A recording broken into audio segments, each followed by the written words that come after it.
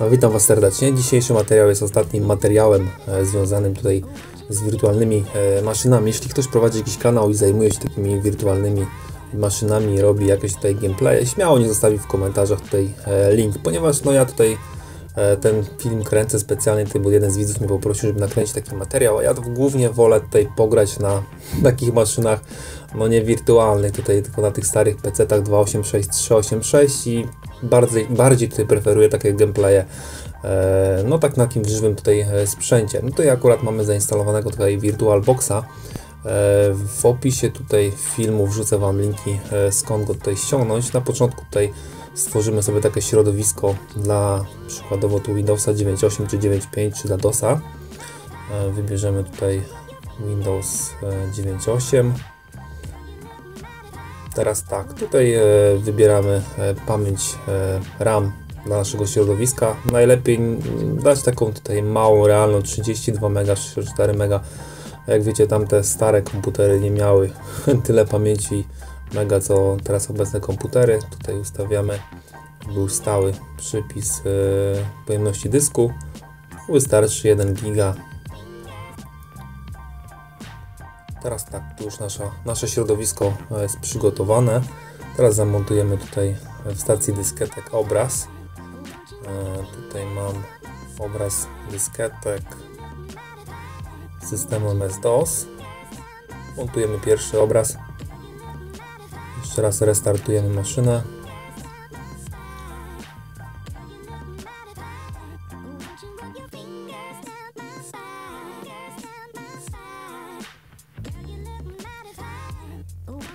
reset. No, takie szybkie tutaj formatowanie dysku. tutaj klikamy dalej. Teraz wkładamy następną dyskietkę, naszą dyskietkę wirtualną. I wciskamy tutaj dalej.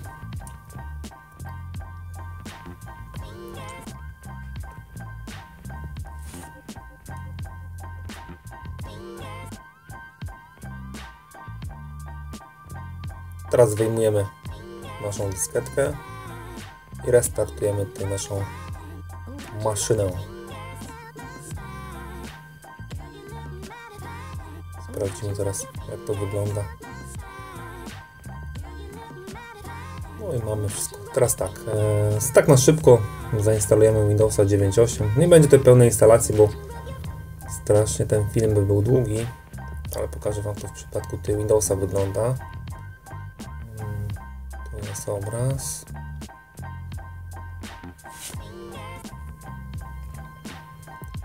Resetujemy maszynę.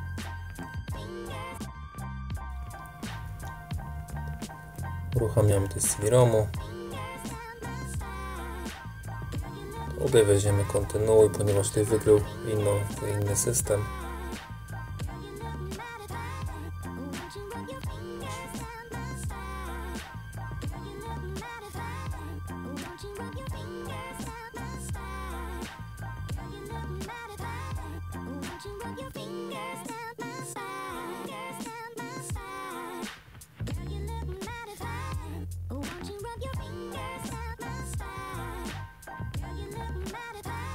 A teraz szybka instalacja Windowsa 3.11. Mechanizm instalacji wygląda podobnie tutaj jak z tym MS-DOSem, co na początku instalowaliśmy. Cały czas się tutaj zmienia te dyskietki, tu jest 6 sztuk. Szybko tutaj przewinę, żebyście, żeby ten film nie był taki długi.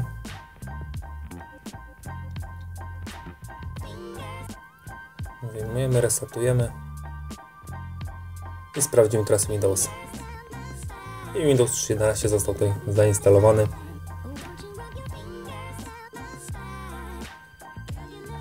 A teraz e, pokażę Wam w jaki sposób tutaj zainstalować sterowniki e, do CD-ROMu.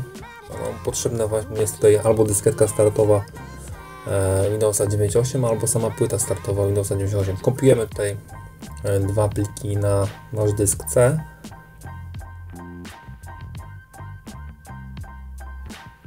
ten systemowy tutaj jest ten, ten sys i z tym końcówkami. Teraz tak restartujemy cały ten nasz system. Startujemy normalnie z dysku.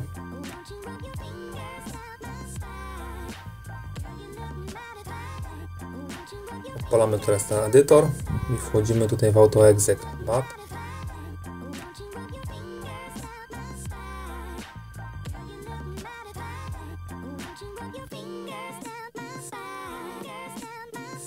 Teraz tak, dodajemy tutaj ścieżkę MSC exec.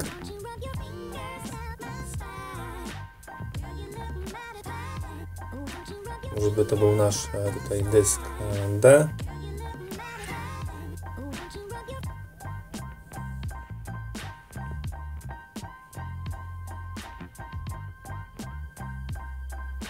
Zapisujemy. I jeszcze otworzymy tutaj config sys. Tam też trzeba dodać ścieżkę do pliku.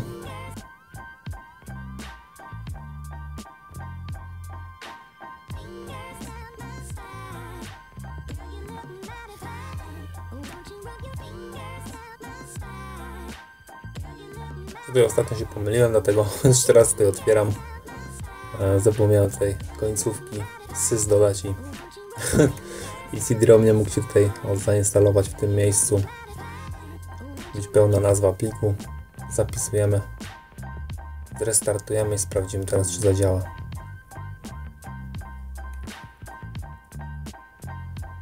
Uruchamiamy tutaj z dysku, czy wirtualnego tego.